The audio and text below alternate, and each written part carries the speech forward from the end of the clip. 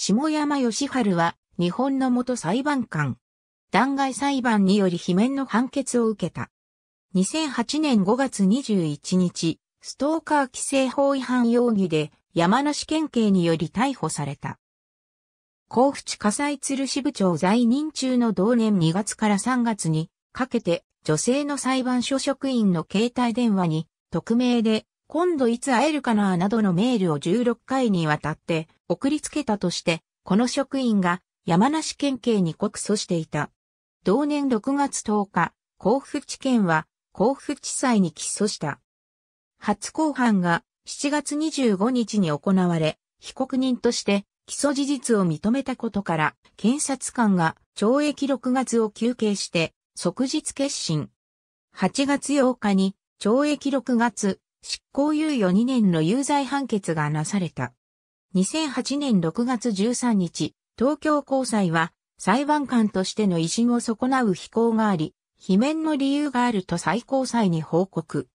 同年6月16日、最高裁は臨時の裁判官会議を開き、国会の裁判官卒委員会に対し、裁判官弾劾裁判所に下山の罷免卒業を行うよう請求した。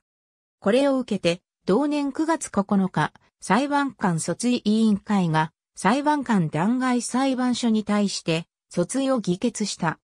弾劾裁判の後半は麻生内閣成立を受けて衆議院解散の可能性があったことから期日の決定が遅れたが同年12月3日裁判官弾劾裁判所において初公判が行われた。